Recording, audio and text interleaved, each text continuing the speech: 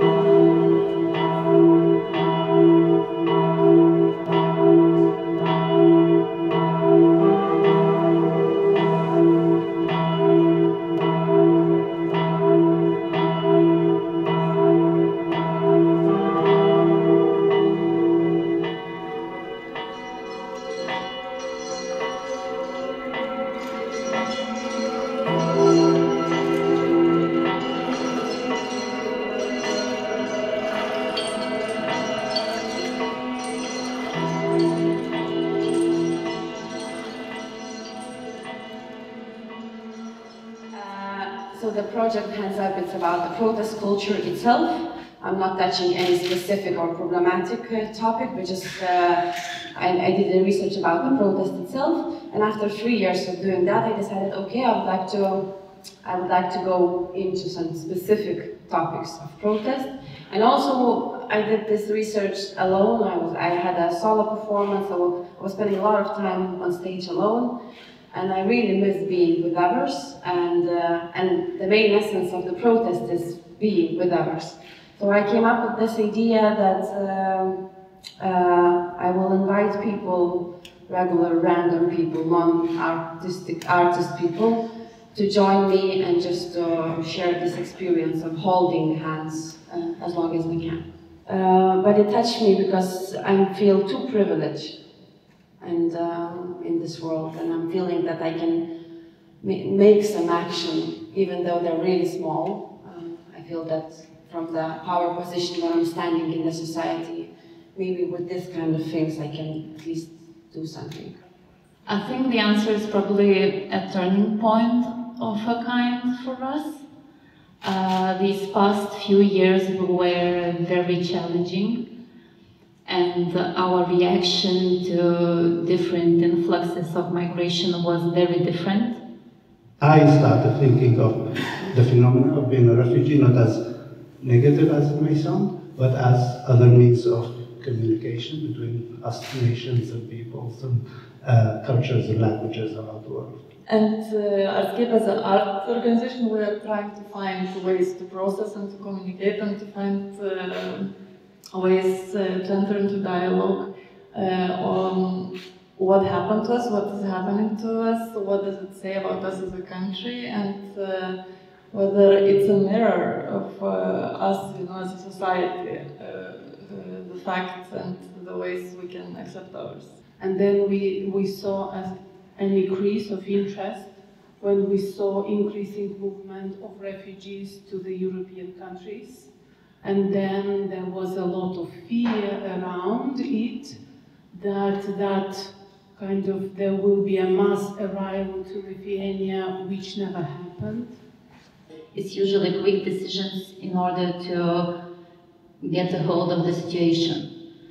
And after a while, we have to start thinking about the long-term perspective on, what kind of an effect this will have. What is missing is uh, also responsibility for civil organizations, for cultural organizations to get involved and building these bridges, getting more uh, open uh, and inclusive. And uh, this year, for me, in a different discussion, I heard the point of um, someone speaking that the roots of uh, us and them, you know, is in childhood. It's in very childhood, and uh, the research has been done about representation of other cultures living in Lithuania in children books, literature, and so on. And uh, it was uh, uh, the research showed that it's none. You know, so there is no different child, no refugee child, no migrant child, no other ethnicity child represented. So the reader, children can get to know them, you know, as a people. So I think that this is the like very roots of building the bridges. Um, what is missing in the in my personal context is understanding because uh, when I make my journey outside Iraq, to, from Iraq to Norway, um, I felt like I am uh, entrusted with a, with, a, with a mission, which is to tell the story. Uh, to tell the story of what I have seen, what I have experienced, and how I, I perceived things from a very, very personal uh, perspective, from a very, very personal, emotional, sometimes narrative. Uh, because I felt that what was missing is something that I think Pink Floyd spoke about in the 70s. It is the concept of the us and the concept of the them. Because at, until that time we were, we were them, basically. We were the other people. We were the people from the countries that are at war with itself. We were from the countries that has uh, conflict with identities, that has issue with who they are, where they are positioned in the, in the time and the place. Um, what I have devoted the rest of my life for until uh, from when I moved to Norway is to, uh, you know, build a bridge from the two concepts, the, the us and the them, and uh, replace it with the we, because this is something that we are all uh, going through. Is the potentially most important part of this discussion and uh, how to bring those uh, re refugee stories to the to the to be known, to be like to be open for sharing. Uh, I think what we're lacking is more knowledge and competence to understand that the world is, is full of Ukrainian kind of situations, uh, but we do not uh, uh see the relation between these situations. Global politics that is not uh, taken those things into consideration. Iraq, Mesopotamia, as the, uh, as the Romans used to call it, the land of the two rivers. Uh, the whole ecosystem is based on the continuation of the flow of those two rivers in certain ratios of water. And now Turkey has built a network of dams that will sort of stop those waters from flowing. There is an actual environmental death witnessed now in Iraq and in Syria. Um, these conflicts are happening as quickly as you can imagine. There are whole villages disappearing. There are fishermen uh, relocating. Uh, there are farmers uh, with, their, uh, with their cows and animals dying as we speak. Those people will move. They will not stay there because their environment does not support life. So they will move into other environment, and that will, by nature, create a conflict on resources. This is going to create conflicts on the on the local level, on the regional level, and on the global level, which is going to create a wave of internal displacement, which is going to be by nature translated into a wave of refugee.